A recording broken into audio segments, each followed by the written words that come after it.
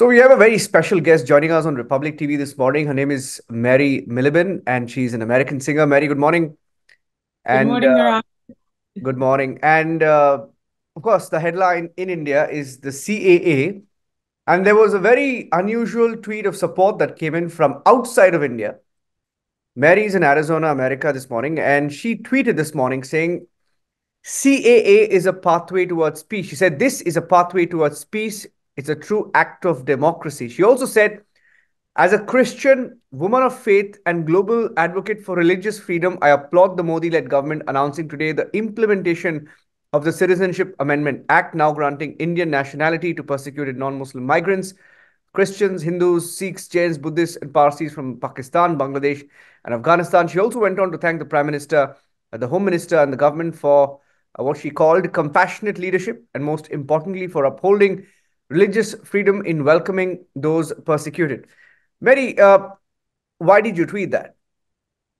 Well, first, good morning to you and hello to all the Republic TV family. You know, I tell you, it's a very important time in the country to speak truth to power, as I say. And I tell you, as India is experiencing, the United States is experiencing, many countries across the world are experiencing certainly a re-election. Uh, and so these are times where it's important for uh, truth to be magnified and, and the important issues of, of the important issues that are affecting the world to be discussed. And certainly religious freedom uh, is one of the most important issues affecting the world world. Uh, India is experiencing that, certainly the United States and areas across the world. And so uh, I have followed certainly this conversation uh, between mm-hmm. administrations here in the United States as it relates to uh, the Citizenship Amendment Act. Uh, mm-hmm. And what is important uh, in the context of democracies. You know, democracies are the beacon of hope, the beacon of freedom to the world. The United States and India, the two largest and oldest democracies together, uh, we collectively are the beacon of hope and freedom to the world. And so I think this is a really important step. Uh, certainly, people can say, well, you know, the prime minister was making it in light of the, the timing of the reelection, and that could be the case. But I think it's more important that the prime minister, the home minister, and the Indian government are setting a tone tone for what is going forward as the prime minister approaches a third term. I think that really is the more important energy. And so to have this as an important step, uh, embracing the third term of the prime minister, setting a precedent for what India will be as it relates to uh, welcoming those who have been persecuted because of religion, I think it's very important. I think it's a smart, strategic, uh, very compassionate, and bold move by the prime minister and the Indian government. How, how do you think the world will look at this uh, move by the Indian government? America, you're sitting well, in America. How does how will the American government, for example, look at it? Well, you know, uh, our our government certainly, um, regardless of politics or party, the government should look at this as a positive step. Uh, again, the United States and India as democracies, collectively in relationship, we are the beacon of hope, the beacon of freedom to the world. And so it's my hope yeah. that uh, the United States looks at this move, a strategic move by the prime minister, as a positive move. Uh, we are seeing the rise of religious persecution all across the world, and, yes. and no one no one should be persecuted because of their faith, the God that they want to serve.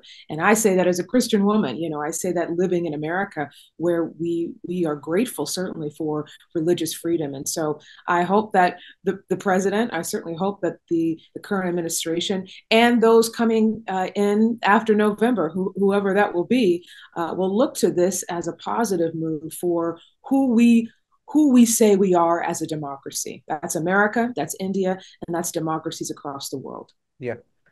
Mary, uh, you know, this is specifically to the persecuted minorities from Afghanistan, Bangladesh, and Pakistan. And I've even seen a recent report uh, from the US Home Department that spoke about how religious minorities are persecuted in Pakistan and Afghanistan. There's a report. Of course, we've reported it extensively. We don't need any proof, but it's a fact that uh, Christians, Hindus, Sikhs, Buddhists, Parsis, Jains, any minority for that matter in Pakistan or Bangladesh or Afghanistan, they're targeted. Uh, from a humanitarian perspective, uh, you know, what's your take on it? And how do you look at it as as as as just a, a citizen of the world? Sure. Thank you for asking that. You know, Narajan, we are all God's children. You know, we are we are one human race. You know that that motto that was shared in the G20 summit held in India.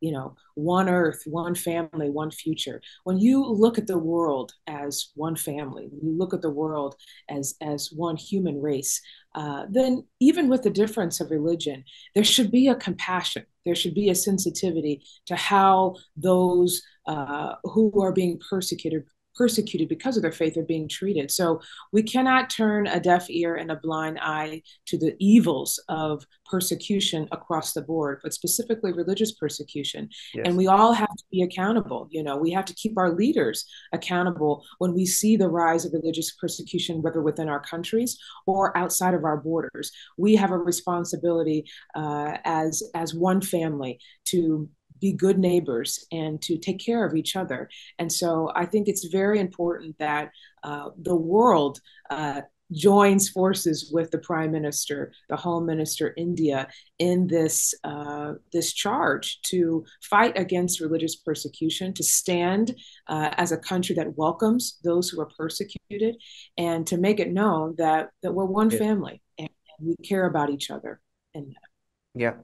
Uh, you know, in India, of course, for political reasons, uh, you have the opposition uh, calling it anti-Muslim, for example. There are many parties that call it that, and it's a domestic issue that we will deal with.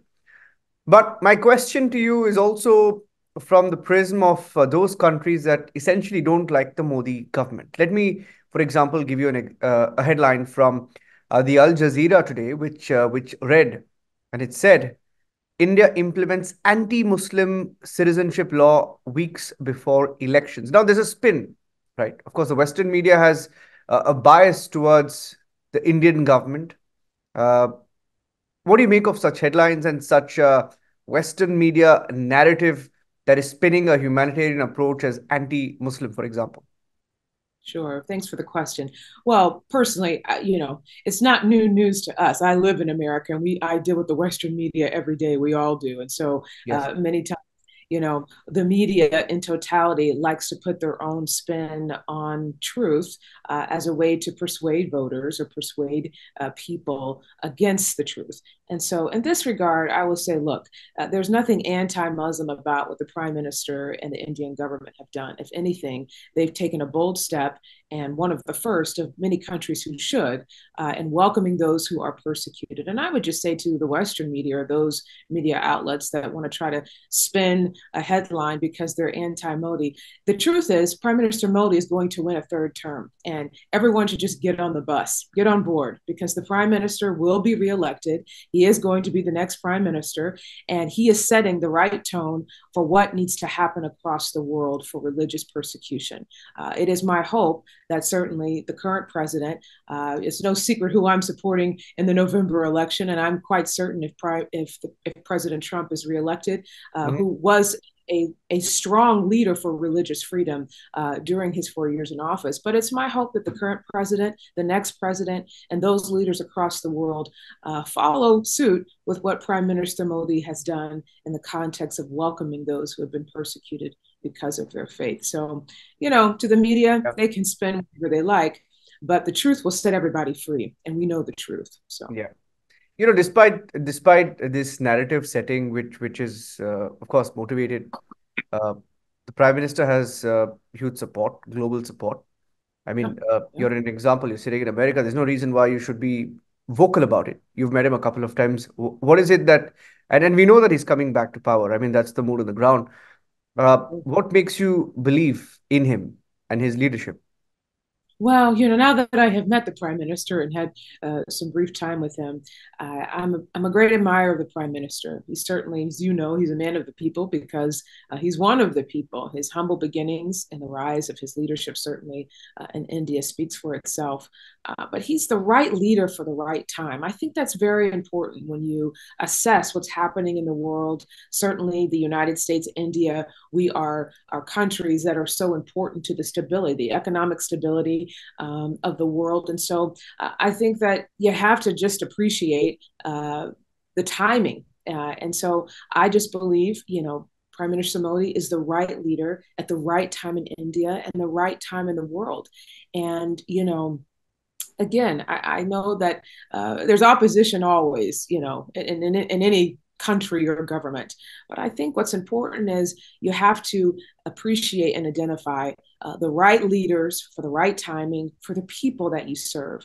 And Prime Minister Modi, hands down, is the right leader for the Indian people uh, at this time and going forward. And and that has that that's irrefutable. You can see the policy that the prime minister has put forward that is certainly advancing India as an economic power, that's advancing India as a competitor in technology, that's advancing India as a promoter of women and young girls, uh, that's advancing India in infrastructure. You certainly, the, the headlines and, and the news about uh, the advancements in highways and, and certainly infrastructure yes. there. So I could go on and on and on, but the truth and the facts, the agenda, the policies speak for itself and that that's irrefutable. And so again you know i'm pretty bold about this because i see what's happening in the world in my capacity as an artist and i i believe that we should get behind leaders for the right time. And, and prime minister modi is the right leader for the right time. Very interesting uh, perspective uh, from someone who's living in america. Uh, mary thank you for speaking to republic tv today. It's good talking to you. It's great talking to you. Thanks for having me. Have a good day